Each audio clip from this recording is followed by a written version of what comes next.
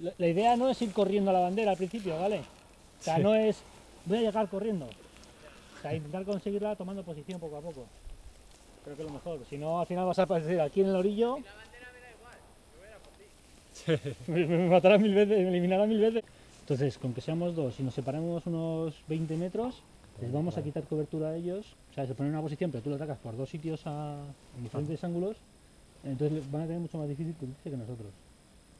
Entonces, eh, si queremos la ventaja de distancia, lo suyo es ir un poco, uno, o sea, más o menos desde arriba. Ajá. Y un poco abiertos y con eso Pues tenemos una ventaja. Bien, bien. O sea, aquí no es, porque aquí allí no, hombre, te puedes quedar aquí dos tíos y empezar a pegar tiros para que nos acerquen. Es una opción. Porque así otro grupo sube desde arriba y sigue subiendo. arriba un poco. pues, Vale.